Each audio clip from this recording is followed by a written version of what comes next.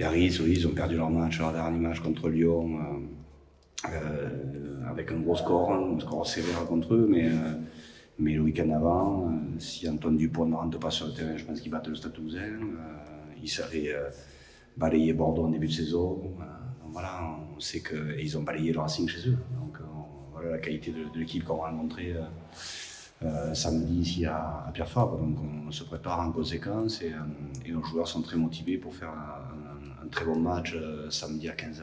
Ce, collectif est, habitué à gagner des, rencontres. ils ont beaucoup gagné l'an dernier.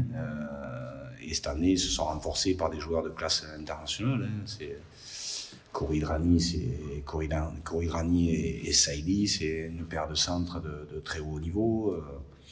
Et devant, on connaît euh, d'ailleurs ou Armitage qui sont les, meilleurs gratteurs et contesteurs du championnat aujourd'hui, en top 14. Donc voilà, c'est.